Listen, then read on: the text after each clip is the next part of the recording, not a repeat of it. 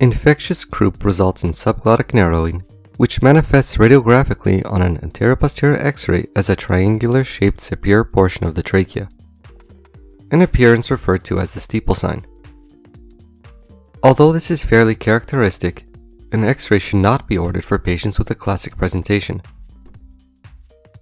When the typical signs and symptoms of croup are present, then there's really no need for an x-ray and if there's any suspicion of epiglottitis or bacterial tracheitis, then x-rays are contraindicated.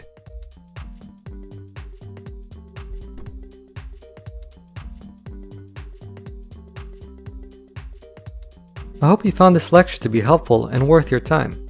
Please feel free and very welcome to leave a comment or suggestion below. And if you like this video, please hit subscribe and check out some of the other videos in this channel.